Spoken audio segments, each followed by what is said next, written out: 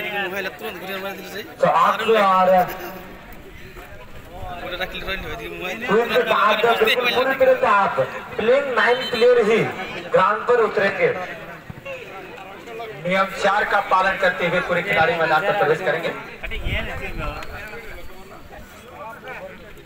चलिए इसी के साथ मैं कुछ एक बार जानकारी देना चाहूंगा जी हाँ प्रथम चक्र का खेल जहाँ पर समाप्त होती है दूसरे चक्कर यानी कि दूसरे दौड़ शामिल हो जाता है यानी कि सेकंड राउंड का पहला आप होंगे साइन मोटर साइन मोटर बनाम K A L Dhirajganj Sain motors बनाम के ए एल धीराजगंज चलती गेम के बाद सेकंड राउंड का पहला मैच मैदान के बीचों बीच होने जा रहा है।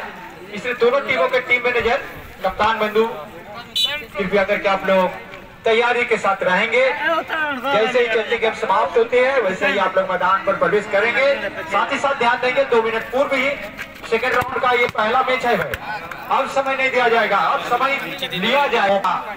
मिल सकता है। तो क्यों? कटौती क्यों करने जाएँगे? क्यों ना हम दो मिनट पहले ही तैयारी के साथ रहेंगे और चलती गेम के साथ मैदान पर प्रवेश चलती गेम समाप्ति के बाद मैदान पर प्रवेश करने की कोशिश करेंगे। जी हाँ साइन मोटर्स और के ए एल धीराजगंज दोनों टीम पूरी तरह से तैयारी के साथ अब अपना धीरे धीरे वार्म आउट अगर कर रहे हैं तो समाप्त कर देंगे और सीधा पाँच मिनट पहले ही हमारे सिटिंग जोन पर तैयार हो जाएँगे।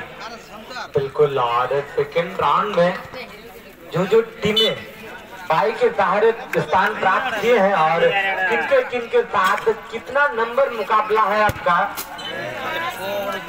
आपको मैं पुनः सूचना दे दूँ। N A Dhirajganj. भाई के सहारे द्वितीय चक्र में स्थान प्राप्त। आपको पहला मुकाबला खेलना है साइन मोटर के साथ। वही द्वितीय चक्र का दूसरा मुकाबला टूडू एफसी वेस्ट बंगाल क्योंकि भाई बाइक के सहारे सेकेंड नाम में अपना स्थान प्राप्त किए हैं। आपका मुकाबला होगा अरमान स्पोर्टिंग के साथ, दूसरा मुकाबला। और वही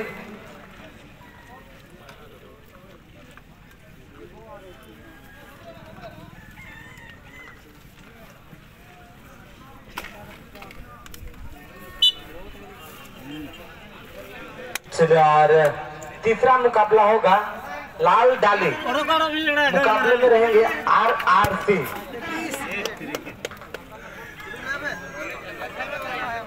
बांधवान जो कि बाई के सहारे सेकेंड राउंड में अपना स्थान प्राप्त किए हैं। चौथा मुकाबला होगा जय जगन्नाथपुरी। मुकाबले में होंगे मामा बगना एफसी जो कि भाई के सहारे द्वितीय चक्र में अपना स्थान प्राप्त किए थे। और राकेश स्पोर्टिंग का मुकाबला होगा जे के के साथ, जो कि बाई के सहारे द्वितीय चक्र में स्थान प्राप्त है। और